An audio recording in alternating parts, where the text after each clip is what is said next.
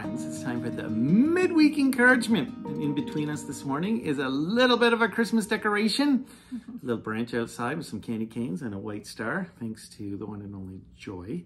But it is time to get those decorations out as we begin to celebrate this Christmas season, the coming of Jesus. Mm-hmm.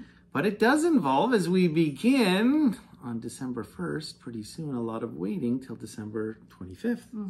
Yeah, if you're watching this on Wednesday, it's uh, the eve of December 1st, and maybe you have one of these and you're that. starting to count down to Christmas. Oh, yeah. And all the way down to 24. It's, uh, yeah, it's only 24 days, 25 days, but it seems like an eternity, especially if you're a kid. Or you're 49. Yeah, and you're anticipating Christmas. anticipating family time and things like that. Maybe that's you too, but we're saying this because we're telling you we need to have patience.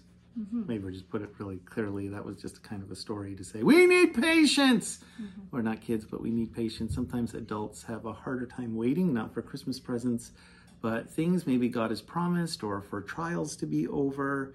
And we take matters into our own hand and we need to be patient.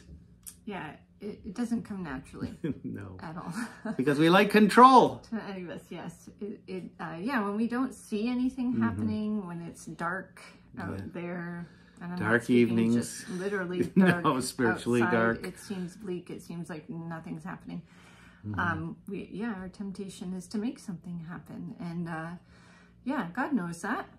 He knows our weakness. He knows our nature. Uh, but as we choose to walk by faith and not by sight, uh, He can do great things in transforming us into His character because He is patient. He is long suffering.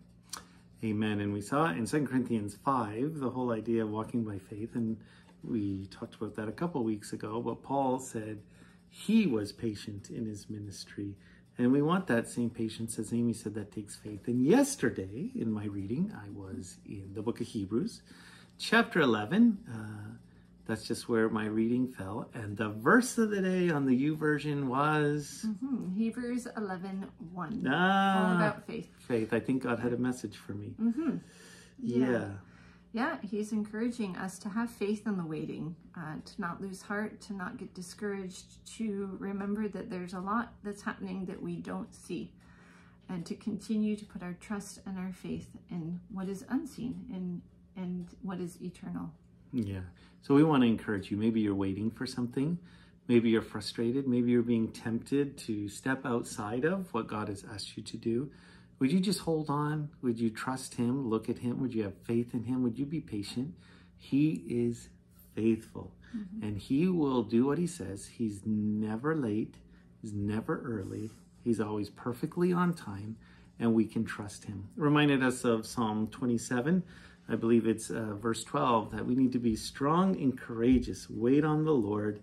Again, he says it twice in that psalm. Wait on the Lord. hmm It takes courage. It does take courage to wait on the Lord. It's it just uh, it's again against our nature, and it seems uh, more natural to make something happen. But continue to wait on the Lord, and uh, He will answer.